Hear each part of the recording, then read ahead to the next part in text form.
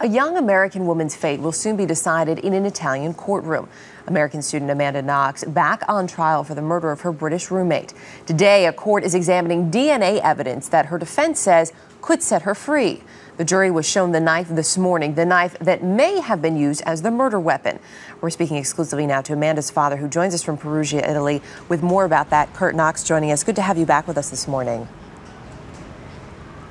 Thank you for having me. Uh, it, talk to us a little bit. Um, the knife was actually shown uh, this morning as evidence in, in court today. Uh, what did you take away from that, from the testimony this morning, from the from the experts who testified about this knife?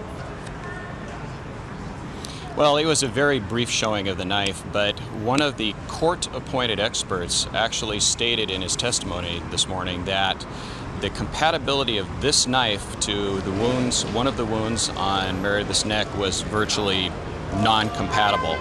And therefore, uh, you know, I think it strikes uh, a hit to the prosecution's case that much further.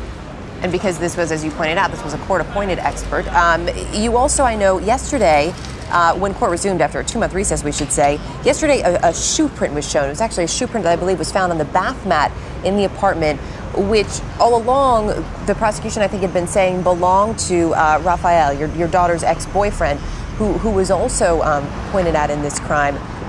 But that's not what you saw in court on Friday.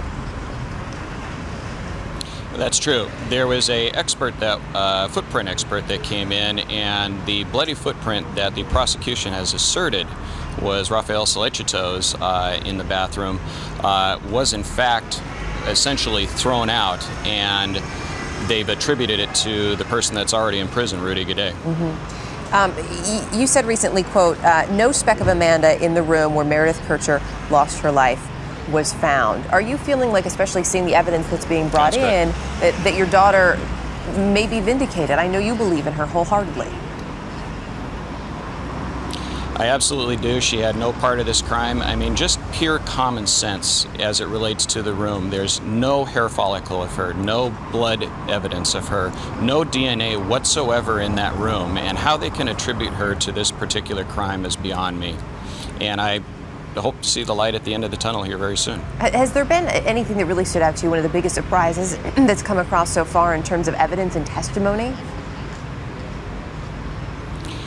Well, I think as we go through each individual piece of evidence, as the defense has their opportunity to provide their side of the case, it continues to break down the prosecution's uh, theory to this whole crime. And hopefully, we're coming to the end of the, the journey here and we'll be able to bring her home soon. Uh, Curt, a two month recess, as we mentioned. What has that time been like, uh, both for you and your daughter? And how, how's Amanda holding up at this point? Well, you know, she's obviously very disappointed. It, it's extremely hot over here during the summertime in Italy. She's in a concrete prison with no air conditioning, essentially baking. And knowing that you're there for something that you had no part of makes it that much more difficult. But she's happy that the uh, trial has re you know, begun again, and she sees the light at the end of the tunnel. And hopefully, you will have uh, some sort of a verdict soon. I know there's some pressure to get this wrapped up before mid November. Curt Knox, really appreciate you taking some time for us today. I know you're heading back into court soon.